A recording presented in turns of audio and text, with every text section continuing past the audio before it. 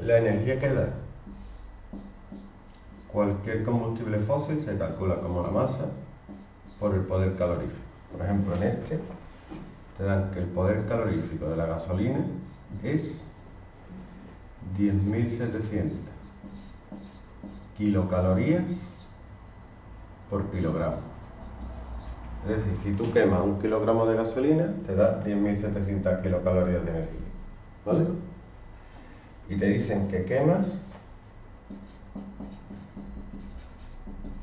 14 kilogramos de gasolina.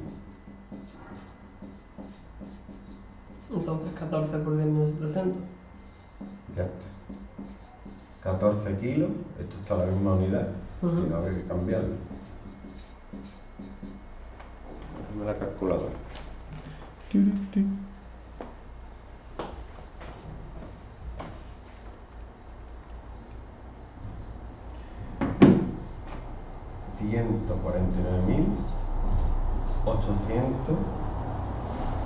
Kilocalorías.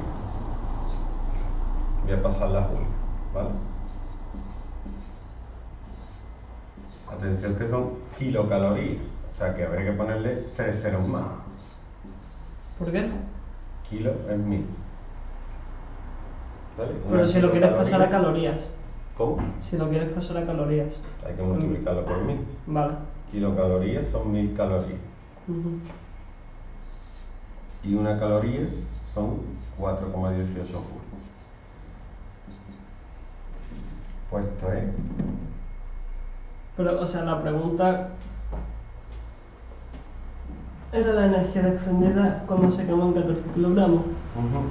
Y, y entonces no es 149.800 Sí, kilocalorías. pero yo no quiero pasar Julio.